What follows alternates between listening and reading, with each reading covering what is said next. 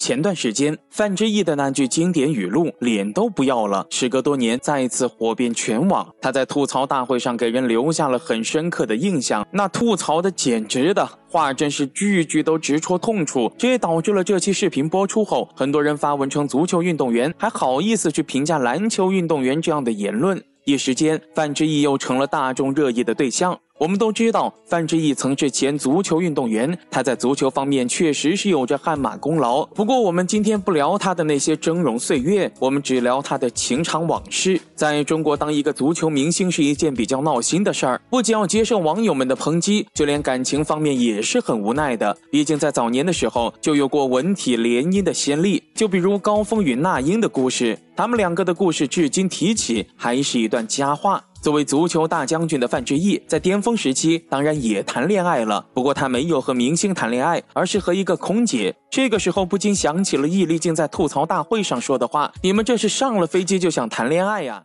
范志毅的前妻是空姐，周琦的老婆也是空姐。你们打球的怎么都喜欢找空姐啊？你们是上了飞机就想谈恋爱吗？哎，还真就是这么回事儿。一九九三年，范志毅在国外比完赛得了重感冒，在回国的航班上遇到了当时的一个空姐李倩。李倩对于他的无微不至的照顾，让范志毅感觉到久违的温暖。在下飞机后，就四处打听他的电话。经过不懈的努力，两人最终修成了正果。一九九五年，正值巅峰时刻的范志毅与李倩正式步入了婚姻的殿堂。随后，范志毅到英国踢球，李倩也跟着他去英国照顾他的起居。直到九八年的时候，两人也迎来了他们的爱情结晶范思金。因为是在英国生的孩子，所以范思金也就顺理成章地加入了英国国籍。之后，范思金因为气质不凡且有着姣好的面容，参加了一档节目后就瞬间爆红。可是他的国籍也引起了众人的争议。很多人都认为，作为中国足球的标志性人物，范志毅本人都是中国籍，为什么范思金是英国国籍呢？要知道，当初范思金出生的时候，范志毅正在英国留洋，夫妻二人在英国生下女儿，范思金当然也就顺理成章的加入了英国国籍。当初的范志毅与其妻子可以说是模范夫妻，在中众人都认为他们能够一直这样幸福的时候，两人离婚的消息却传了出来。除此之外，还有三百万的分手费引起众人关注。当初范志毅在与李倩签离婚协议的时候，承诺会给她支付三百万的分手费，但是因为不是一个小数目，他便说道会分三次去付清。而协议里面也说到，如果逾期支付的话，那么范志毅将会以银行同期存款利率的四倍去付利息。可是范志毅在支付了一百万以后，因为经济出现了一些状况，所以没有按时支付剩下的钱。因为逾期，李谦一怒之下将范志毅告上了法庭，甚至还要求对方支付二百四十多万元。多出的算是利息了。面对前妻的起诉，范志毅十分无奈，因为他的起诉，范志毅的所有资产被冻结，而这件事在当时也是引起了不小的轰动。再怎么说，范志毅在当时也是小有名气的。对于这件事，范志毅说道：“自己考虑到他将来要再婚，如果带着一个孩子的话，一定很不方便，所以自己要了孩子的抚养权。”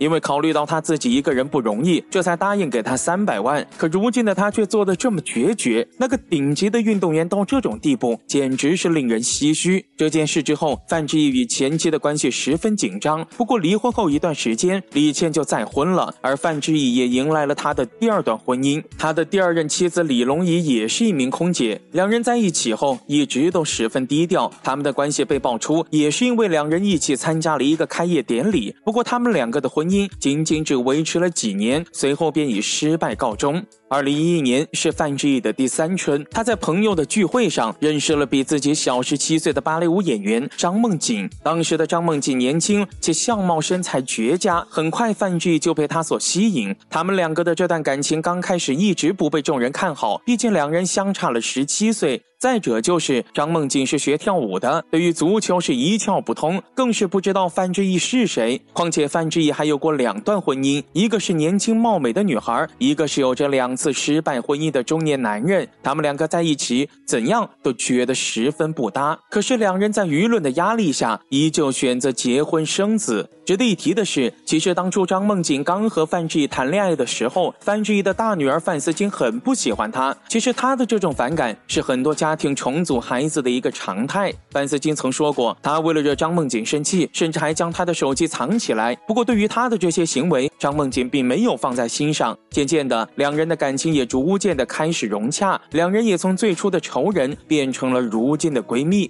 二零一六年的时候，范志毅的小女儿依琳也在美国出生。范思金第一时间就分享了这个喜讯。从照片中我们能够看出，一家人十分融洽。二零二零年五月二十日，那个看似不会表达的大老粗范志毅，却高调在社交平台示爱张梦景，表示自己能给他的并不多，一个未来，一个我，感谢命运让我们相遇。不得不说，我们的范将军也是很会撩啊。如今，范志毅在综艺节目中因为吐槽中国男篮而引起了众人的热议，而作为娇妻的张梦景，在网友的抨击下力挺自己的老公。如今，范志毅与张梦景已经携手走过了几年的时光，从当初的不被看好到如今的神仙眷侣，他们一起经历过了许多的风风雨雨，婚姻依旧稳固。还记得当初张梦景在接受采访的时候说道，当初自己的家人是十分反对我们的，因为我和范志毅的年龄差太大，家人总是担心到时候我老了没人照顾怎么办。一旁的范思金听到后笑着表示道：“我照顾你们呀。”但是当你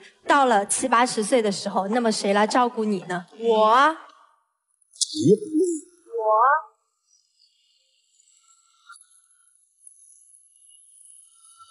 这一幕在众人看来是多么的幸福甜蜜。目前，范志毅在崇明足球基地担任教练，虽然日子没有之前那般风光，却比之前规律了不少。一家四口可以说是十分幸福了。如今的范志毅偶尔会出现在公开场合，就比如吐槽大会这样的舞台。不得不说，除了球踢得好之外，范志毅的综艺感也是十足呢。那一句脸都不要了，真的是让小鱼记忆犹新啊！不愧是被李诞称之为入错行的选手。别说，还真。挺想让我们的范将军跨界当脱口秀演员呢，想想就就觉得十分搞笑。对于这件事，你有什么不一样的看法呢？欢迎留言讨论。这里是体育观察员，带你了解运动员背后的那些事儿。想了解哪个运动员，那就私信小鱼吧。